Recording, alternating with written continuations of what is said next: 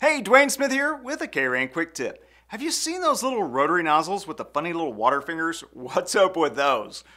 Rotary nozzles fit a normal spray body. They operate a little like a spray head and a little like a rotor. They have larger water droplets, which means more water ends up on your lawn and less water gets blown away. Rotary nozzles come in various watering distances, which allows them to be an alternative for both sprays and sometimes rotors. The precipitation rate for K-Rain rotary nozzles is 0.4. That's the same rate as the Hunter MP rotator.